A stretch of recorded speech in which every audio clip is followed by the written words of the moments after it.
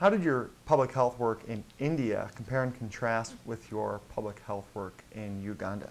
I was surprised by how different they were, which I think uh, was a bit a bit naive of me to approach India the way that I did. Um, I had a fantastic time working in Uganda and uh, and also a, a, very good time working in India, but it was also a radically different environment. Um, India has so many different layers happening and is just such a massive place of over a billion people, and it hadn't really occurred to me before I before I went there um, that not only would I be encountering my own uh, U.S. India cross cultural issues, but that there would be a number of cross cultural, interreligious, um, and language barrier issues just within my own office working in Chennai, and that when we were working, you know, in an urban center and traveling to the south.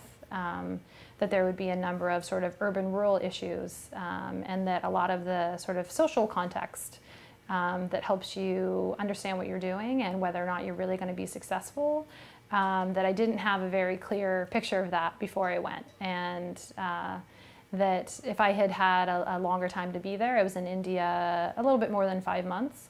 Um, and I was in Uganda for a year and a half. And so I think that five months is a, is a very short amount of time in, in which to really understand that and be mm-hmm. effective. Um, and that uh, you, you really need to be in place for, for a longer period of time in order to grasp some of the, the cultural issues that are happening uh, behind the doors and that might not be apparent to your, to your foreign eyes.